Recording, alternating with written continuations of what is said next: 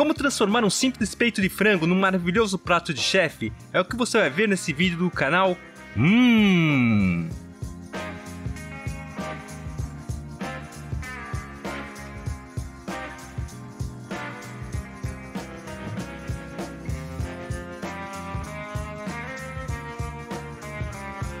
É a sua primeira vez aqui?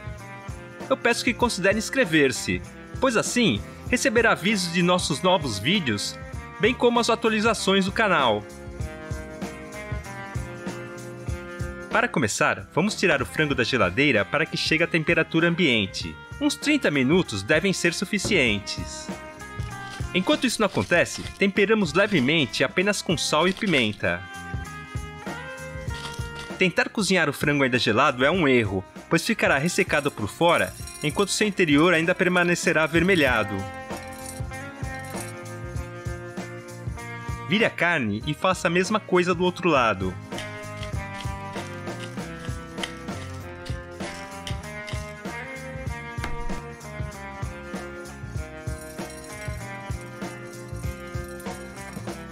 Pegue uma assadeira grande esse sal no fundo da assadeira vai sugar toda a umidade e ajudará muito na caramelização. Montamos essa cama de alecrim, salsa e cebolinha. Isso vai dar um sabor especial de ervas. Vou usar batatas doces, cenoura e mandioquinhas, que são raízes de sabor adocicado, que combinam bem com frango. Mas você poderia usar qualquer raiz que esteja disponível na época, como mandiocas, cebolas ou até beterrabas, que também são bem adocicadas. Adicionar alguns tomates cereja vai dar a umidade necessária para cozinhar as raízes no forno com vapor. Mais um pouco de sal por cima.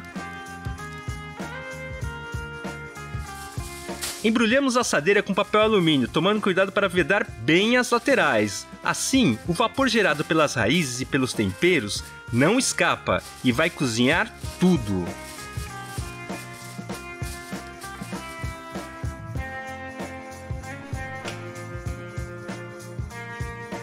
Está pronto para ir ao forno na temperatura máxima.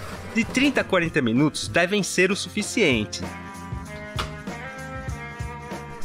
Quando cozinhamos peixes, podemos usar o azeite de oliva, mas para outras carnes o melhor é usar um outro óleo vegetal, como o de milho ou até o de girassol. O azeite, principalmente o extra virgem, tem uma temperatura de queima muito baixa. Isso quer dizer que o azeite vai queimar antes de cozinhar a carne.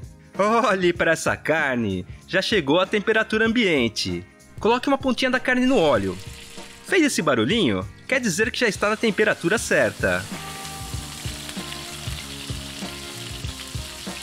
Enquanto a carne sela, pegue uma cabeça inteira de alho.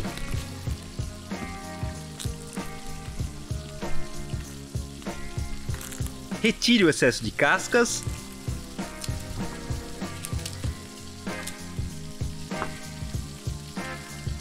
Apenas amasse com o dorso da faca. Isso já é o suficiente para que ele libere todo o seu sabor. Não precisa descascar nem picar.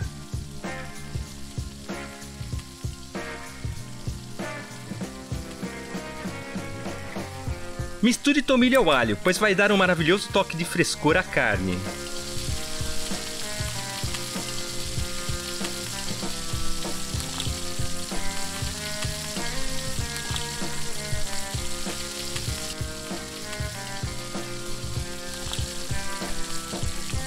É muito importante usar as bordas da frigideira para selar cada cantinho da carne que não ficou em contato com o óleo quente.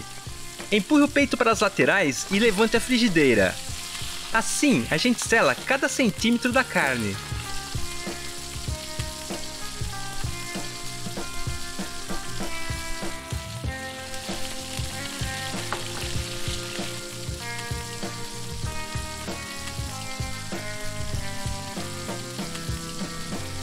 Abaixamos o fogo. Juntamos duas colheres de sopa de manteiga sem sal.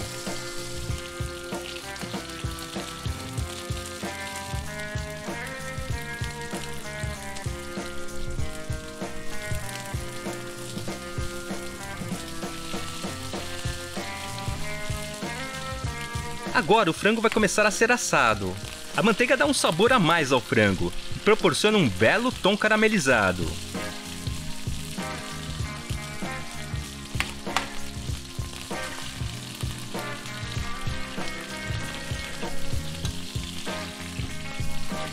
A gente usa uma colher para regar o peito com a manteiga quente. Sempre coloque os temperos por cima da carne, pois além de acentuar o sabor, evita que eles queimem.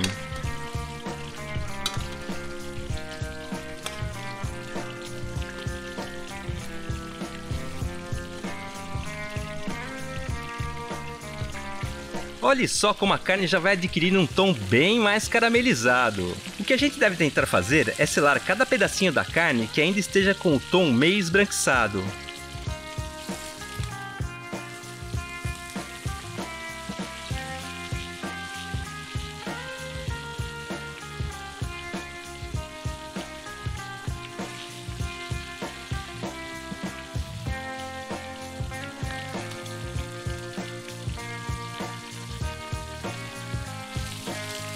Simplesmente maravilhoso e o cheiro é incrível. É isso que a manteiga faz, adiciona cor e sabor a esse belo peito. Vamos para o forno com a parte da pele para baixo. Se você não tiver uma frigideira que vai ao forno, transfira o peito para uma assadeira, mas não lave a frigideira, pois vamos voltar a usá-la para fazer o molho. De 8 a 10 minutos deve ser tempo suficiente para que a carne asse por dentro sem perder a umidade. Tiramos o frango do forno. E agora deixamos a carne descansar por no mínimo 5 minutos. Se parássemos aqui, já teríamos um belo peito de frango assado. Mas podemos ir além e preparar um delicioso molho de panela.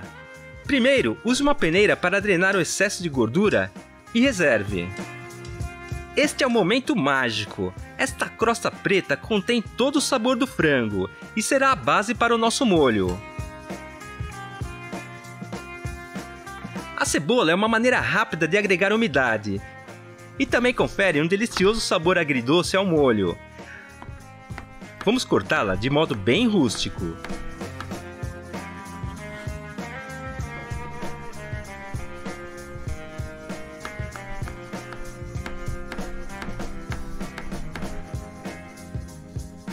Despeje na frigideira e coloque mais uma colher de manteiga.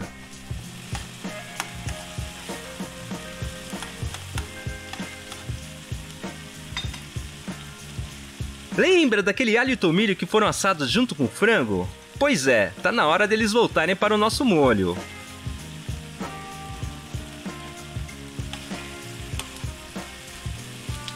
O alho e o tomilho realmente absorveram grande parte do sabor do frango. E agora vamos fazê-los devolver todo esse sabor para nosso molho.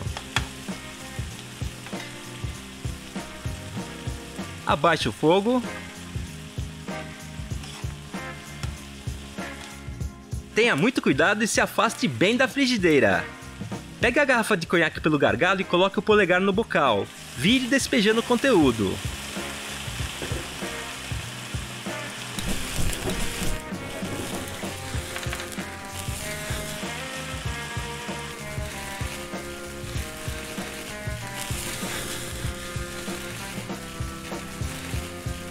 Isso vai literalmente caramelizar a cebola.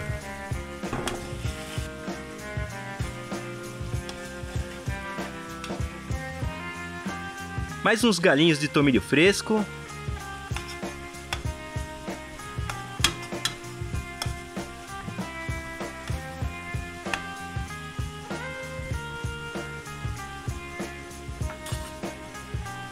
E novamente, mais um pouco de conhaque.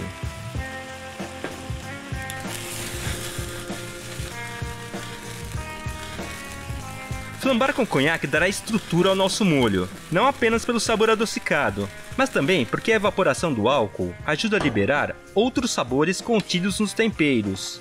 A cebola, aos poucos, vai adquirindo esse tom amarronzado. Isso quer dizer que seus açúcares naturais estão se caramelizando. Continue mexendo para evitar que queime ou grude.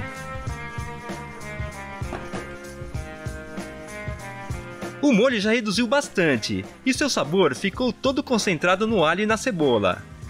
Acrescentamos um pouco de caldo de frango para deixar o molho bem mais fino.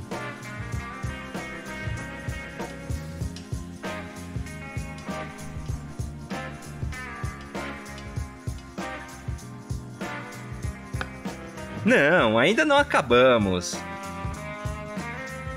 Pegue a peneira de metal e coe todo o conteúdo da frigideira.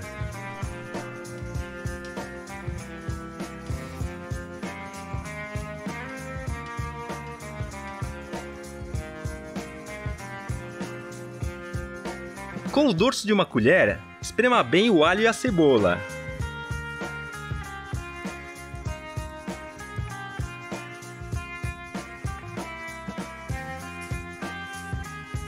Tá vendo esse caldo que eu estou raspando do fundo da peneira? É realmente impagável, natural e cheio de sabor. É o tipo de coisa que não dá para comprar pronta. O resultado final esse molho escuro e fino, para que penetre bem na carne e nos vegetais. Vamos tirar as raízes do forno, pois elas já devem estar assadas.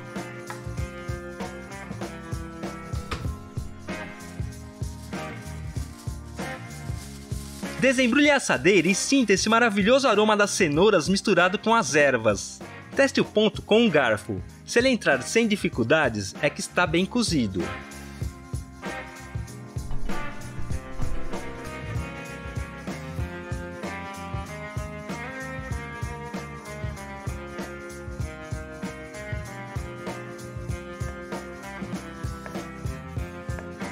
Gosto das raízes no forno com vapor porque elas ficam bem tenras e saborosas.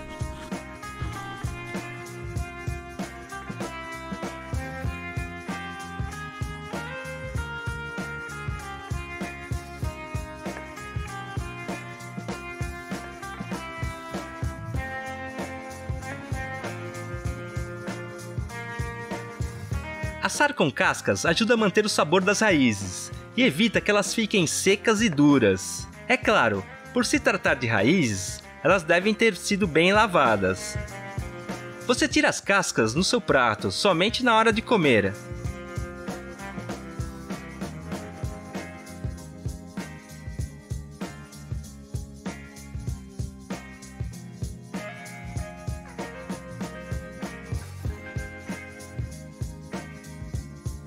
Olhe para esse peito macio e dourado. É realmente importante deixar a carne descansando por algum tempo. Isso vai evitar que o caldo quente cheio de sabor saia da carne. Veja que eu corto o peito em fatias bem grossas e a umidade não escapa.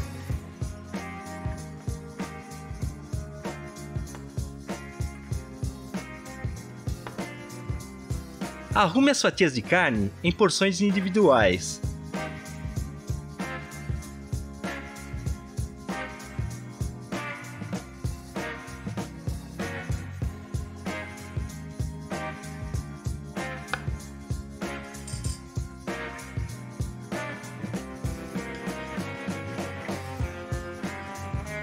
Finalmente, acrescentamos uma porção generosa do nosso molho de panela.